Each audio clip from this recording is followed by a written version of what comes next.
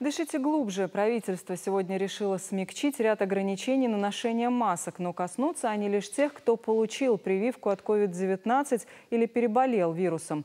Впрочем, еще несколько мер облегчат жизни всех остальных жителей. Подробности у Галины Солодовник. Без маски и без соблюдения дистанции смогут находиться в одном помещении небольшие постоянные рабочие коллективы до 20 человек. Но при условии, что каждый из сотрудников либо вакцинирован от COVID-19, либо им уже переболел. Это послабление распространяется также на творческие коллективы и спортивные команды.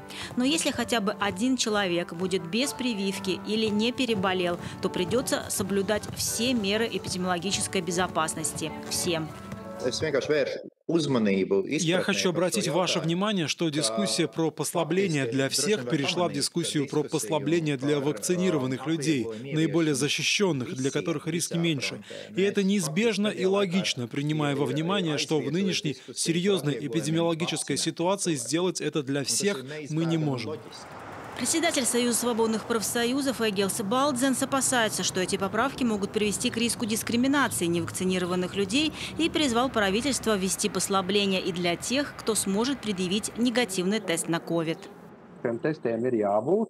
Должны быть тесты, чтобы не было дискриминации. Дискриминацию запрещает и Конституция, и резолюция Парламентской ассамблеи Совета Европы. Вакцинация проходит только добровольно, и никто не должен быть дискриминирован за то, что решил не вакцинироваться или из-за риска для здоровья, или просто потому, что выбрал это не делать. Говоря о правах человека и аспектах дискриминации, есть существенный момент. Права человека — это и право право человека на жизнь.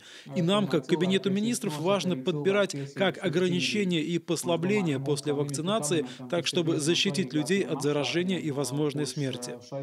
Впрочем, Кабинет министров поддержал еще несколько поправок, которые касаются уже всех жителей Латвии. Так, в занятиях спортом на свежем воздухе смогут принимать участие до 20 человек вместо прежних 10. Это, например, упростит организацию процесса образования. Не нужно будет разделять класс на отдельные группы, поскольку обычно в группах участвует около 15 человек. Это касается занятий по интересам и спортивных занятий. Более того, в абсолютно всех торговых центрах смогут открыться магазины с отдельным входом с улицы.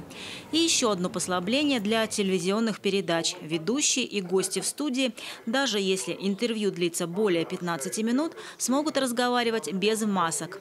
Те, кто не вакцинирован, должны будут предъявить негативный тест на COVID-19, который был сделан не позднее 72 часов до программы. Изменения вступят в силу на следующий день после публикации в Латвиес Веснесис. Это может произойти в ближайшие дни. Галина Солодовник, Латвийское телевидение.